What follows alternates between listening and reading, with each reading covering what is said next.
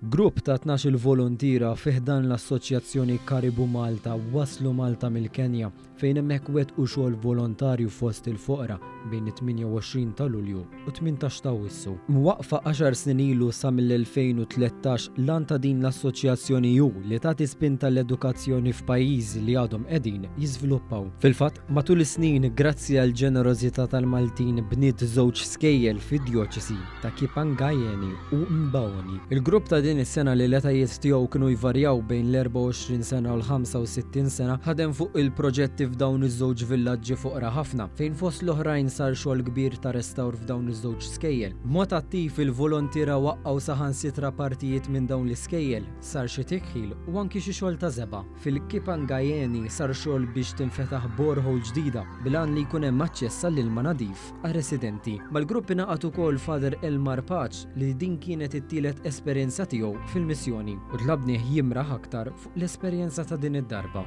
Esperjenza qawwija ħafna, jiġifieri hemm diskrepanza kbira ħafna bejn il-ħajja li ngħixu hawnhekk l-istandard għoli li ngħixu hawnhekk u l-faqar kbir li tara tmissu b'idejk, jiġifieri aqqas ma nimmaġinawhx, jiġifieri trid tmur hemmhekk. U l-esperjenza, jiena mhix l-ewwel esperjenza tiegħi allura kont imdorri nara dak il-livell ta' ħajja, imma l-grupp kollu l-ewwel ġimgħa tista' tgħid ixxukkjat x'injara n-nies hemmhekk f'liema faqar jgħixu. Fl-istess ħin il-ferħ li jittrasmettu, jiġifieri kull ħaġa żgħira li tagħmel magħhom jifirħu mix-xejn, jiġifieri japprezzawh ħafna.